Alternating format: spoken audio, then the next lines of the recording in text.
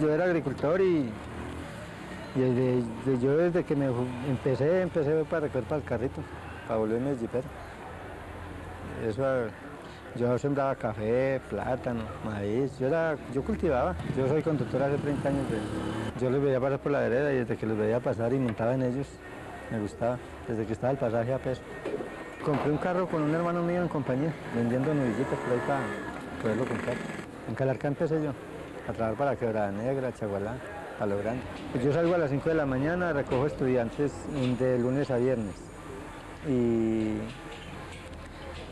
recojo los estudiantes a las 6 de la mañana en Chuzo Bravo, una vereda que se llama Chuzo Bravo. Los traigo acá, los descargo a las 6 y media y cuadro para el turno de 7.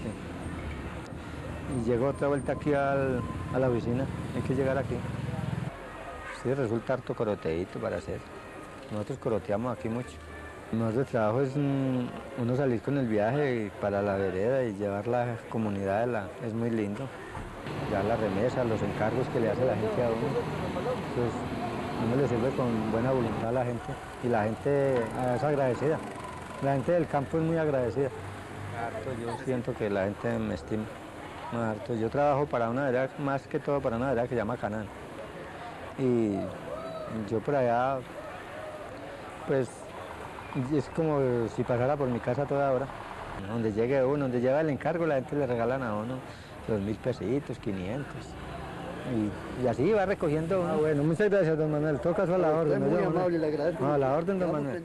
Pues no sé, yo lo que oí decir era que, que estos carros tenían que acabar y reponerlos con, con unas cosas que llaman trimotos.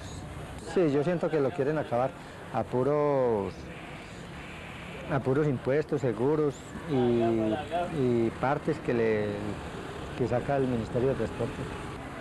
No, pues de los encarguitos, lo que a uno más chistoso le parece cuando le cargan las toallitas las niñas, los pañales para el niño.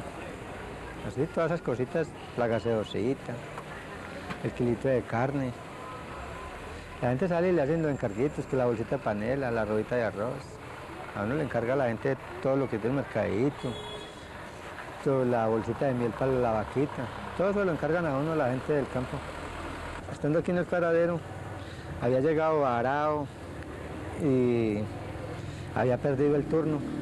Llegaron dos clientes y me buscaron para una carrera al Congal y, y me fui con ellos. Pero un compañero, le avisé a un compañero que me iban a robar el carro porque les veí la sospecha, se me subió, no querían subir adelante que atrás. Entonces yo, a la final se subió uno, el otro uno se subió atrás y cuando subió atrás le vi la pistola. Entonces me dio susto y ahí fue donde le hice señas a un compañero. Y cuando salí el compañero me, me empezó a llamar seguido. Entonces los clientes se me volaron. De nace de servirle a la gente. Yo en mi G he cargado carbón, marranos, terneros, café, plátano, naranja, yuca, todo lo que es de agrícola. Cargamos aquí. No, en una ocasión vino un señor aquí, un muchacho, a pedir un favor aquí para que le trajeran la mamá de Salento que la habían matado en Palo Grande y no tenían con qué traerla. Pues ningún compañero quiso ir porque no le gusta cargar muertos y me dijeron a mí, pero como yo tenía turno, entonces le dije que si me esperaba que yo viniera al turno, yo iba y le traía la, la mamá.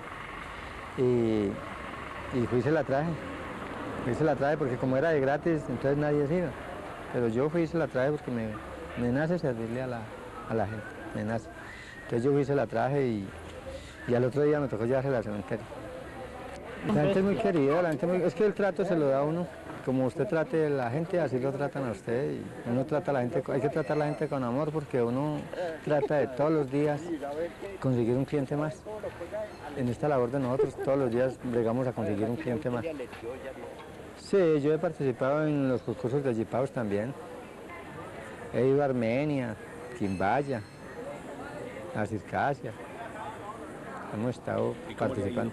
En Armenia ganamos una vez el jipao de coroteo. Yo hago mi labor de jipero, es porque con esto es mi labor para yo vivir, para sostener mi familia, para educarla. Esta es mi forma de vivir.